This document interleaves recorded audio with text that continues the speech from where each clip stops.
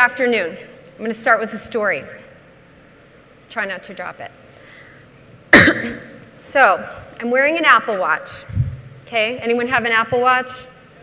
Yeah.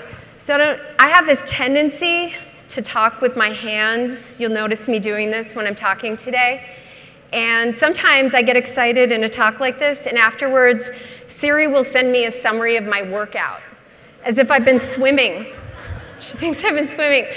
Other times, she'll actually interrupt me while I'm talking, and she'll say, I'm sorry, I didn't hear that. I didn't get that. It's really annoying. So, this happened to me recently. I was talking to this guy I work with. His name is Adam. And um, we were actually we were talking about AI, and I started waving my hands, and Siri interrupted, and I yelled at her.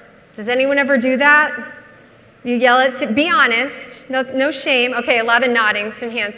All right, so I yelled at her, and then I turned to Adam and I said, ah, It's so annoying. Don't you hate it when that happens? And Adam was uncharacteristically silent. now, the thing you need to know about Adam is he's one of the smartest people I know. And he's kind of an expert in designing for AI. He's a designer and he's been focused on AI for about seven years. And after kind of a dramatic pause, he said, um, You know, I, I tell people not to ever yell at their robots. And he was serious. And he said, You know, if you look at my chat history, it's full of please and thank you.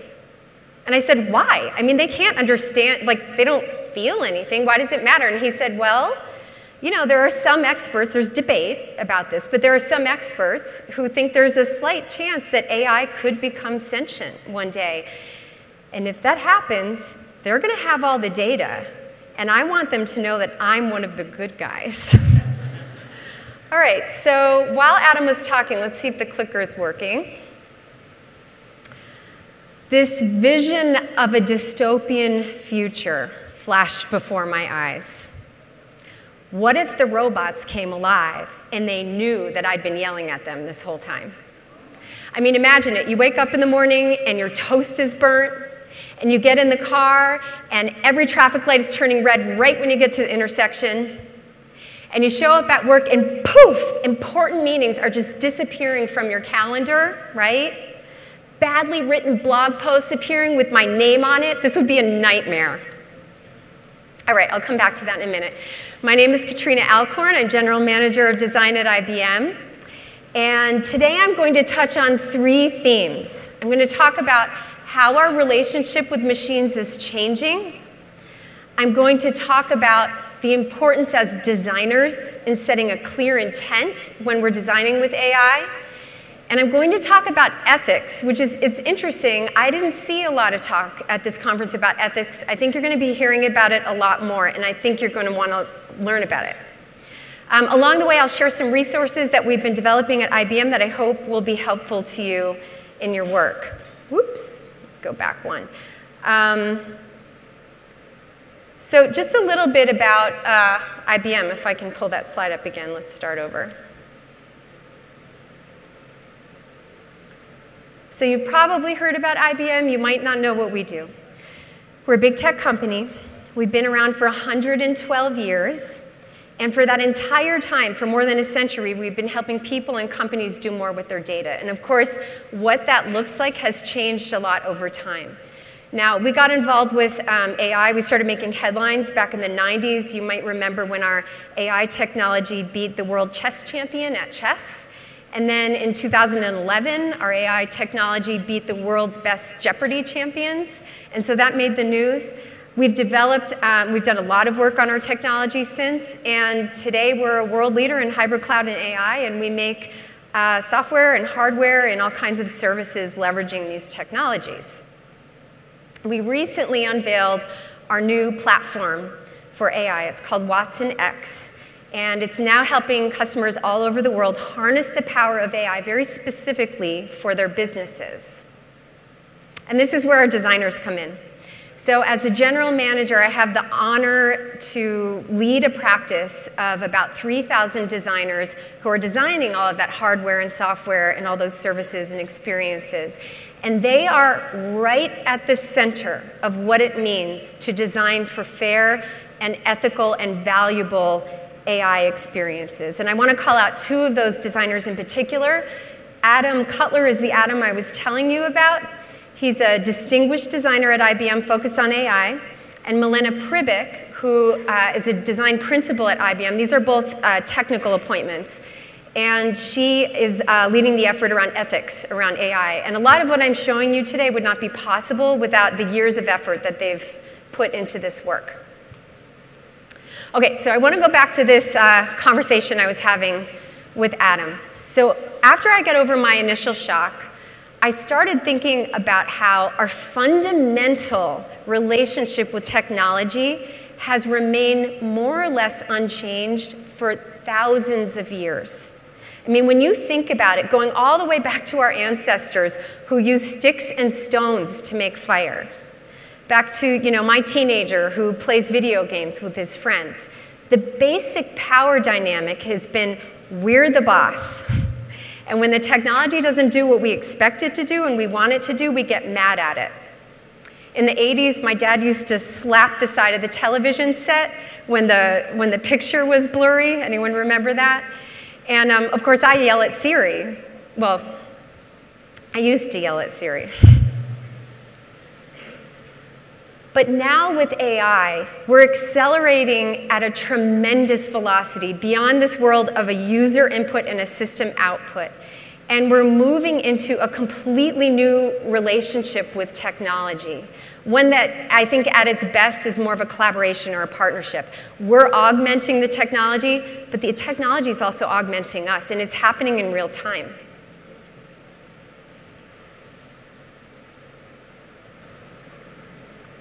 All right. So if you think about it, before AI, human computer interactions were pretty static, right? The human enters an input, the machine enters an output, and it does it without thinking or adapting. Computers were essentially reacting to what we asked them to do. They had fixed functionality based on their installed software. They had very limited ability to bring in sensory inputs. It's basically clicks on a mouse and on a keyboard. And they're deterministic, meaning that what they did was based solely on their programming. Now, with AI, that's changing. We're entering a much more dynamic relationship. Um, machines can now learn and adapt, and they can actually start to be proactive. They can recommend things even before we ask them to. They can also evolve their own capabilities, right? So they can actually autonomously improve what they're doing without us necessarily intervening at all. They can take in other sensory inputs, biometric data, facial expressions, uh, tone of voice, those types of things. And they're probabilistic. What they do is based on probabilities, which means the output to us can seem a lot less predictable, and that's giving rise to a need for more trust and transparency. So, what does this new paradigm mean for designers, right? I mean, we're moving beyond a world where we just deliver wireframes. AI systems are taught, they're not programmed. How do you design for that? So I stumbled into this field back in the last millennium, which feels as long ago as it sounds. And back then, UX wasn't really a thing. Um, and, I, and what I've seen over the course of my career is that we've designers have been asked to take on more complexity and more abstraction as time goes on. So in the beginning, we were designing the interface. Then it was information architecture, and that created a new dimension, right? Then we started doing system design, and we heard a couple great presentations today about design systems. That's a lot more complex than just designing a one-off component or even a one-off product. Now we're being asked to do something even more abstract and complex, what I think of as creating the conditions for success. I think we're moving beyond a scenario where, as designers, we orchestrate a user journey and we kind of we encourage people to enter certain you know, inputs for a system output, and we're becoming more like master gardeners. We're creating an environment where these relationships can evolve between humans and machines, relationships that can grow over time in mutually beneficial ways. Okay, so it, there's a lot of hype around AI, and I think it's really helpful to think about what hasn't changed. We still need to get the answer to these three questions. This is still your job. What problem are we trying to solve? Who are we trying to solve that problem for? And how will we know when we've been successful? It's really hard to surprise me anymore, but I'm still appalled when I hear, and I heard a story about this this morning at breakfast. I'm still appalled when I hear about a team rushing into a technical implementation without understanding some basic answers to these basic questions. It's like um, watching a really bad horror show where the teenagers keep going down into the basement, and you're like, just stop, don't do that. It's not going to work out. So, this is still your job. The single most important thing that a UX designer can do is bring alignment on a well articulated intent. If we don't have agreement on what problem we're solving, we'll never get anywhere. That hasn't changed. What has changed are the actual intents themselves. So, at IBM, we found that it's when you're staring at a blank sheet of paper, starting with an AI project, it can be a little overwhelming trying to figure out what you're doing. So we've identified six what we call core intents. These are six reasons for an AI system to exist. This is not an exhaustive list. The technology is evolving, so you may have things to add to this list. We will probably update this list. But I want to go through the six because if you're working on an AI project and you can't match up what you're doing to one of these six things, it may be time to step back and reevaluate. All right, so the first one is accelerating research and discovery. Imagine you're an insurance company with reams and reams of data. We can conduct rigorous domain-specific research faster using machine learning and artificial intelligence to comb through that data and find those nuggets of information that are really valuable and can help us run the business better. Intent two. Who was in the workshop on day one? Yeah, so this was a, a big a scenario a lot of us played with in the workshop we did where we were experimenting with enterprise design thinking methods.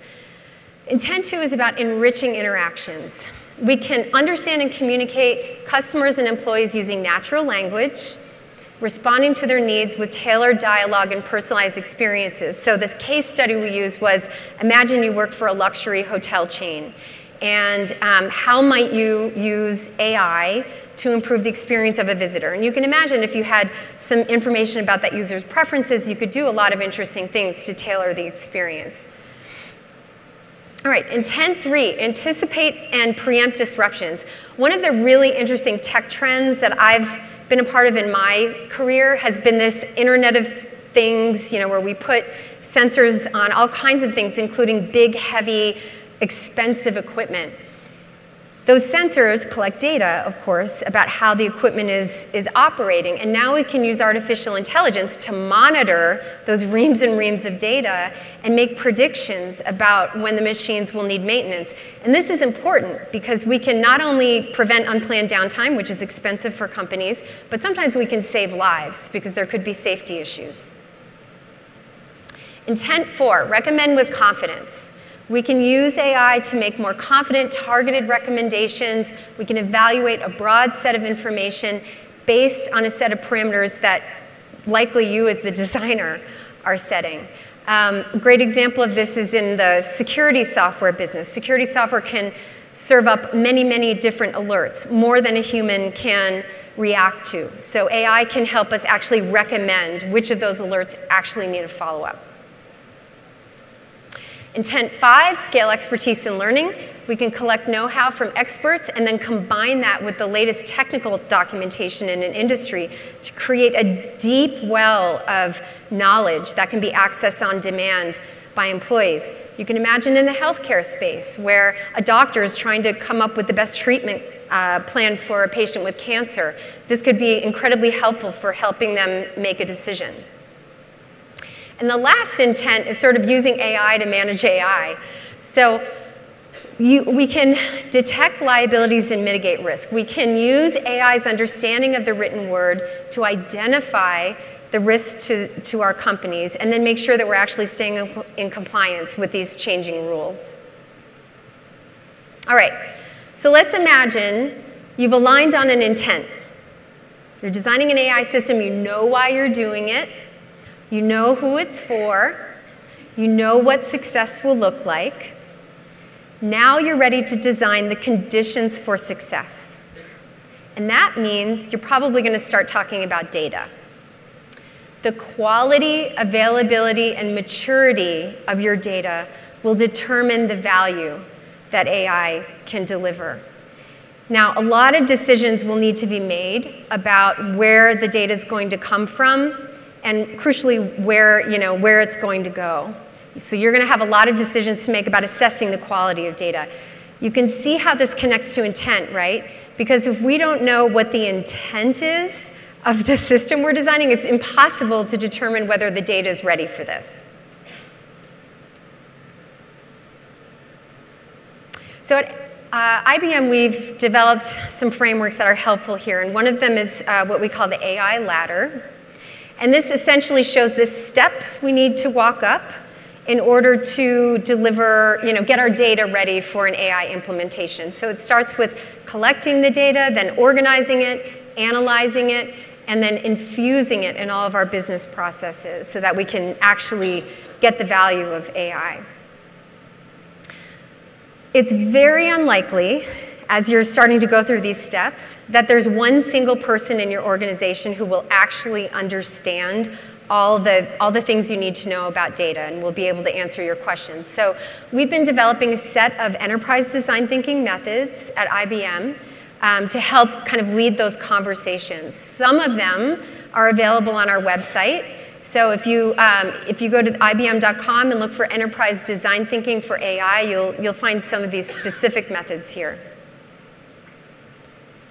All right, so as soon as you start working with your team and making decisions about data quality, you've now plopped into the deep end of the ethics pool. Who owns the data, right? Do you have a right to use the data? What could go wrong with using this data? How are you going to correct for bias, your bias, your team's bias, your company's bias, society's structural inequalities, which are likely to be in the data that you're, that you're modeling? And this is where I, I think I'm going to say the most important thing I'll say in this talk today.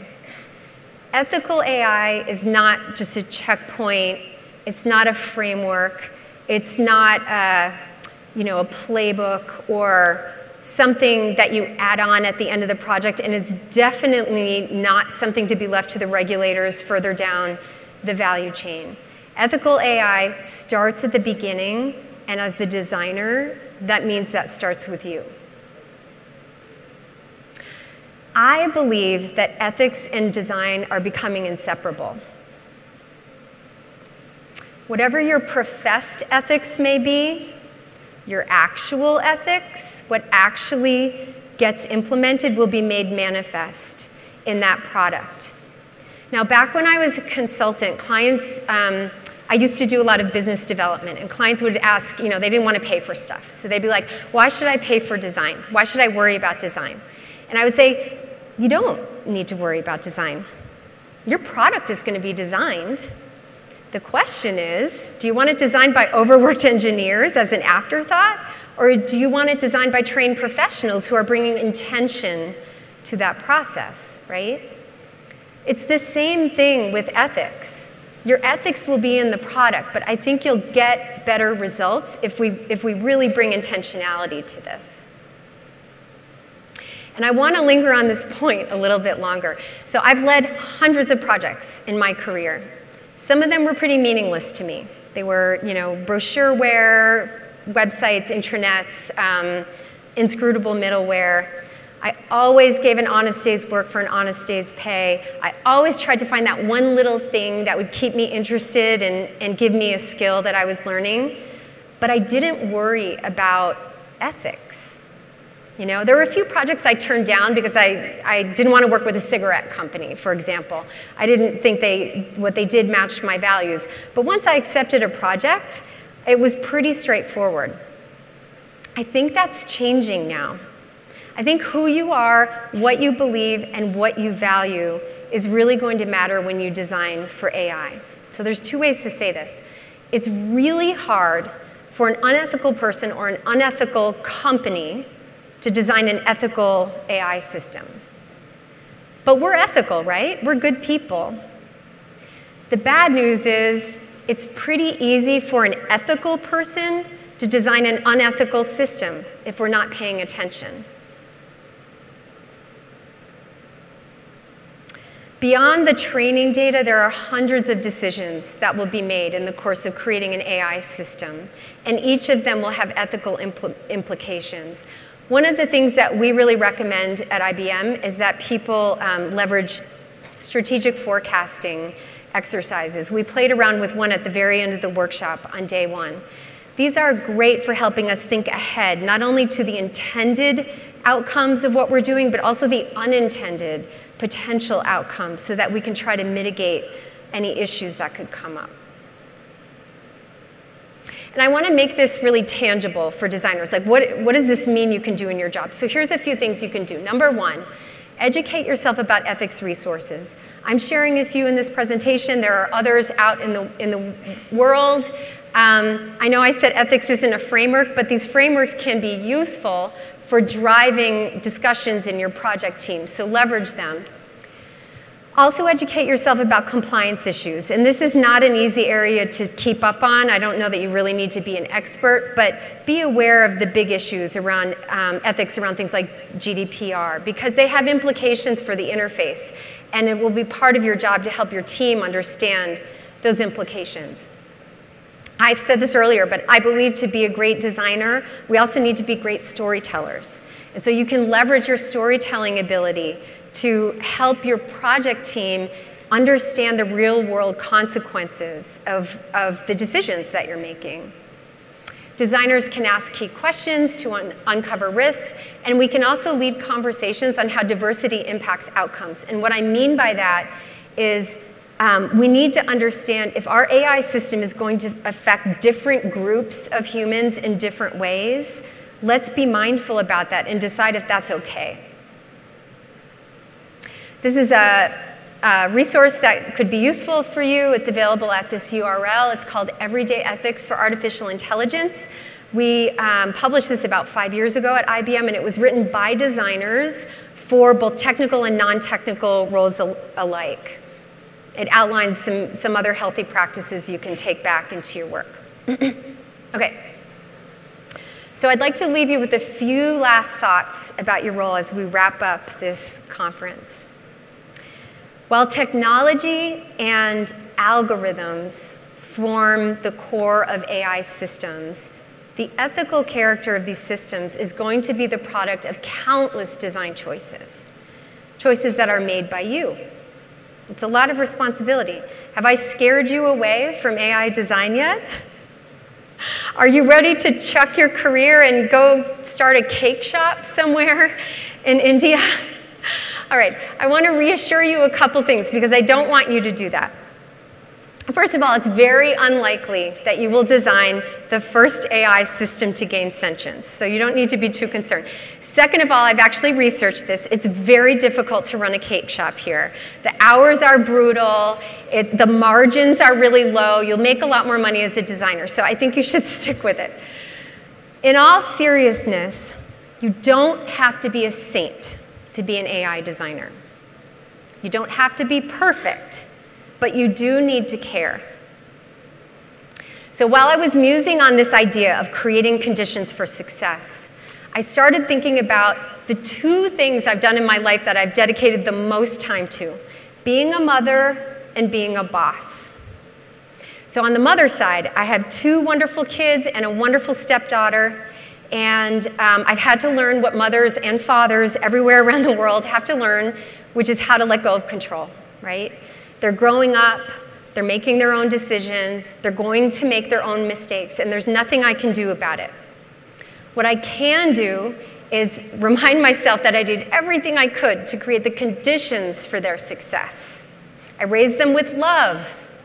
I taught them, my husband and I taught them what we value and how we treat people. I, you know, praised them for their successes and I encourage them to be brave and take risks. And it's kind of the same way with the teams that I lead now. I have several hundred designers who report directly up to me, and I have a couple other thousand who dotted line to me. There is no way that I can possibly control the work that they're doing. I can't even see it all, and they wouldn't want me to. What I can do is try to create the conditions for their success. How I've done that as a design leader is I've elevated the practice of UX research because I don't think design can be successful without it. I've um, done a bunch of work to activate our product management practice. We actually have uh, people on my team right here in Bangalore this week training product managers. And you know what they're teaching them? They're teaching them design thinking. They're teaching them how to work with designers because designers can't be successful unless they have good partners. I've really focused on our learning programs for designers. And not only the, the Spark conference, the design conference that I talked about earlier, but we have designer boot camps for people onboarding into IBM. And then we've started creating new programs for mid-career designers so that our designers will stay and grow at the company. But I think the bottom line is any success that I've had in either of these endeavors is because I cared. Caring is the wellspring of ethics. And this is what I mean when I say bring your humanity to the work. You know, this is the caring is the foundation of all our religious traditions to love one another, to care for each other. So this is my advice. Start there. And if it turns out that you do design the first AI system to gain sentience, the first knowledge it will have of itself is that it was brought into this world with care. That can't be a bad thing. Thank you.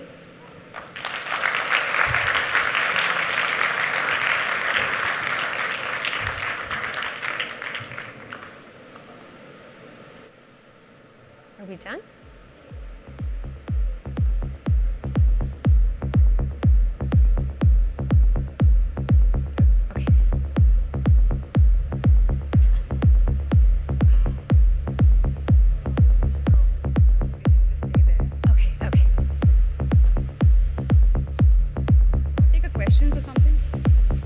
Check, check. Should we start with a question? Yeah, Any before questions? she we felicitate her. Any questions? Please uh, put your hands up. We'll pass on the mic. Yeah. Can you pass Thank the you. mic there? Hi. Uh, so my question is like you are into uh, design for several years. So suddenly this AI come, then uh, people feel threat actually, especially content writers and UX designers. So can you comment on uh, about the future of the UX designers with the AI? Comment. Did you hear the question? Can you come It's forward a little? Uh, keep the mic closer to your mouth. Yeah. You don't come forward. Sorry. Just keep the mic closer to your mouth and talk. So my question is like, so everybody is feeling threatened about uh, AI, uh, especially content writers. Now we are also feeling threat uh, with the AI. So can you comment on this? So my uh, question is directly like, so is it a threat to UX designers with the AI? Can you comment on this? So the, the question, I think the question is, there's a lot of hype about AI. People are excited about, about AI. Um, I want you to be excited about AI. I'm, if I, that wasn't clear, I'm super excited about it. I mean, those core intents, like those are real problems that AI can solve. But you know, I, I mean, think about cars. Like, we, cars are a powerful technology. We've now normalized what it means to drive a car. Although I could never drive in India, by the way. I've been amazed at how, what the traffic is like here.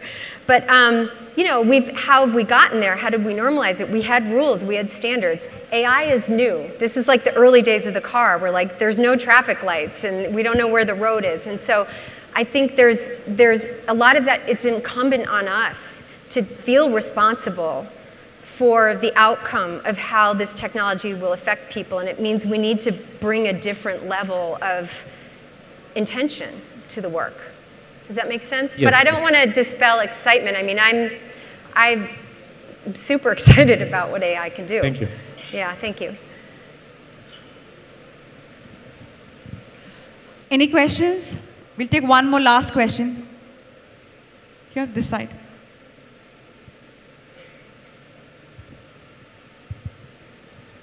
Hi, thanks for the nice talk. I'm Ram. Uh, my, what's still a bit, little bit of, uh, there's a little bit of vagueness in my mind about is, uh, as a designer, building products which leverage AI. How does my role change, right? A lot of the people here are individual contributors who probably do user research or prepare mock-ups or do test out the prototypes on a day-to-day basis, right? One thing is uh, basically using AI to create your designs, etc., where content creation, etc., comes into play. But let's say, just as an example, right, you're building a chatbot. In the past, probably a human agent is talking on the other end, and now there's a machine talking on the other end using AI. As a designer, do I look at things differently while, I build my designs? What does necessarily change in my day-to-day life? That's still a little bit of, there's a little bit of vagueness in my mind. If you could said your thoughts on that. Did you catch that whole question? I only got parts of it. It's the echo in here. Come on up, and I want to make sure. So I got part of it, which was, yeah. Yeah. You can use AI to create your designs. Okay. Let's say you're building products which leverage AI. Let's say you're building a When you're building a product that leverages AI, okay. Let's say in an example of a chatbot. Yeah. Earlier there was a human agent talking to you. Now there's a machine talking to you. Yes. But the way you go about building designs, does anything necessarily change? Well, I think it does change. So that, you know, we're not just designing the interface of the chatbot anymore. We're designing conversation, as Susan talked so eloquently about. I think it was yesterday. It's been a long day. I can't remember. Um, we're designing the logic behind that experience. We're helping our team get clarity on the intent of the chatbot. Should it be able to answer all questions? Is it really being targeted at this one thing? What does that mean? What are the implications? So what I'm trying to say is, again, I think we've moved into a higher level of abstraction than we ever have before. The interface, you know, it's not that it's not important, but it's the tip of the iceberg. The work, a lot of the work is going to be under the ocean. It's going to be the part of the iceberg we don't see. So, and that's where a lot of the ethical considerations come up. Yeah, thank you.